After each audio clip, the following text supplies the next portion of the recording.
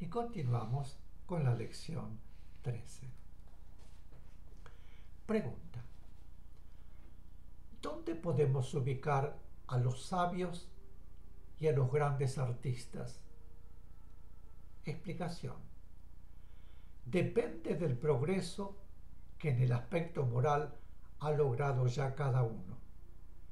Tanto la línea de la ciencia como la línea del arte pueden seguirse con cierta continuidad, aún sin que el ser haya logrado un progreso moral paralelo, porque son líneas que requieren varias vidas humanas para que el ser pueda luego expresarlas en aspectos sutil, útiles o beneficiosos para la humanidad. Seres que están trabajando en esas líneas pueden demostrar cómo encarnados una gran sensibilidad o capacidad artística, por ejemplo, o una notable mentalidad científica, y sin embargo no haber logrado aún ciertas superaciones importantes en el aspecto moral, por ejemplo, en aspectos del amor propio. La superación del amor propio demanda muchas vidas sucesivas, porque tiene numerosas facetas, Lógicamente, aquellos seres que deben expresar la ciencia y el arte en beneficio de la humanidad deben haber superado ya las facetas básicas, pero todavía pueden quedar aspectos del amor propio que no han sido superados y se evidencian en una determinada encarnación. Como esos seres deben obtener plenamente esa superación para poder progresar espiritualmente sin abandonar, abandonar la línea en que están trabajando, por ejemplo, la línea del arte, en una oportunidad pueden encarnar para realizar una vida que les ayude a obtener la superación de aspectos del amor propio que aún no han logrado. En esa encarnación no les será posible expresar notoriamente el arte, aunque lo sientan interiormente, por carecer en esa encarnación de la inteligencia o de los medios indispensables para expresarlo. También podrían hacerlo como genios artísticos incomprendidos o ignorados por el resto de la humanidad.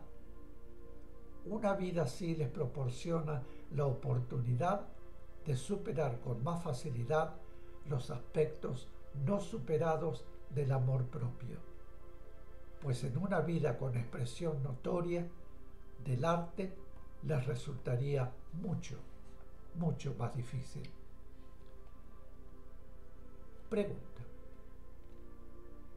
Por favor, y perdone la repetición, ¿un núcleo se constituye por unión reiterada de conjunciones que se van unificando? Explicación.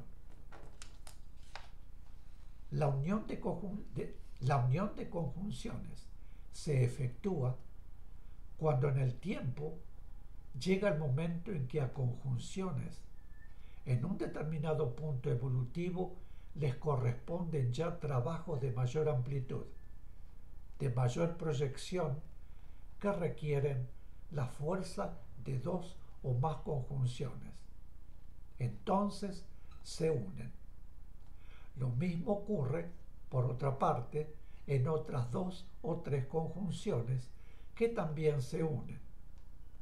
Más adelante se unen esas conjunciones así constituidas, constituyendo una conjunción mayor con mayor capacidad de trabajo. Posteriormente, en determinado momento evolutivo, comienza el proceso de unificación de los seres que las constituyen, hasta llegar a constituirse en un núcleo, en el cual las vibraciones de amor, poder y sabiduría de cada uno de los seres unificadas constituyen la vibración de amor, poder y sabiduría del núcleo. En ese punto, el progreso obtenido en la acción amor conjunta incluye a todos y cada uno de los seres del núcleo, cada uno de los cuales recibe de acuerdo con el propio punto evolutivo, pues tanto en las conjunciones como en los núcleos existe escala jerárquica. Cuando se ha llegado a la unificación, el trabajo de uno y también el progreso que ese trabajo realizado significa, se transmite a todos en relación exacta con lo que cada uno ha podido dar de sí en ese trabajo. Es algo similar a lo que ocurre en las almas grupales, pero en un punto muy diferente. Pregunta. En el plano crístico hay también conjunciones. Explicación. No. Los cristos son núcleos. En el plano crístico no puede haber conjunciones, sino solamente núcleos crísticos. Pregunta. ¿Podría señalarnos cuál es el orden jerárquico de los planos espirituales superiores? Explicación. Los planos espirituales superiores son innúmeros, pero para facilitar nuestra comprensión podemos ubicarlos así, en orden ascendente, planos elevados, planos sutiles, planos sublimes, planos elevadísimos, planos sutilísimos y ya en la divinidad los planos crísticos. Mis queridos, y este es el final de la lección 13. Las eh, conjunciones espirituales.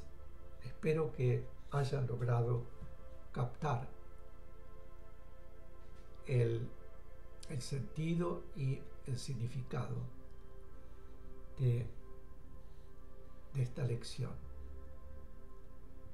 Si no haya sido así, sería lo ideal volverlo a escuchar nuevamente o tratar de asimilar lo que su mente pueda absorber.